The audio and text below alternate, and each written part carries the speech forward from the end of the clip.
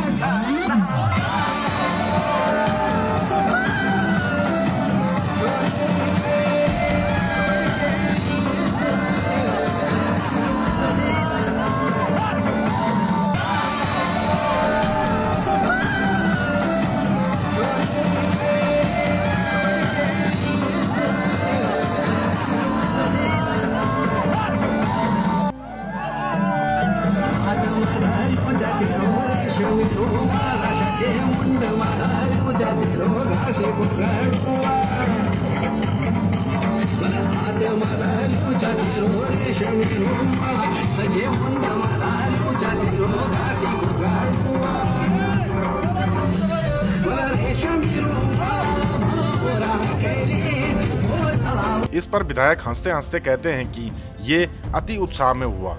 आपको बता दें कि रुड़की नगर निगम के चुनाव परिणाम रविवार को घोषित हुए। इसमें भाजपा कार्यकर्ता हेमा बिस्ट ने वार्ड नंबर 14 से जीत हासिल की। इस पर बीजेपी विधायक देशराज कर्णवाल, उनकी पत्नी और प्रतिनिधि सतीश शर्मा, पार्षद हेमा बिस्ट को बधाई देने उनके आवास पर पहुँचे थे।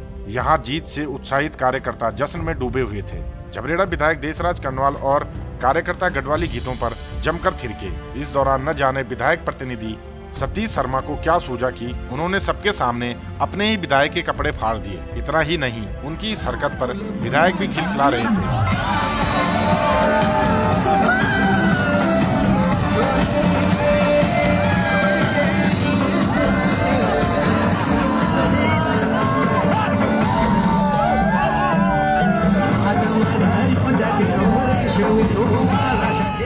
विधायक देशराज कर्णवाल का कहना है कि अति उत्साह में उनके प्रतिनिधि ने उनके कपड़े फाड़ दिए।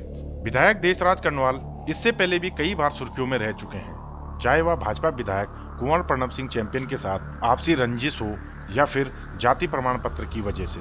Bureau report, Devbhoomi news.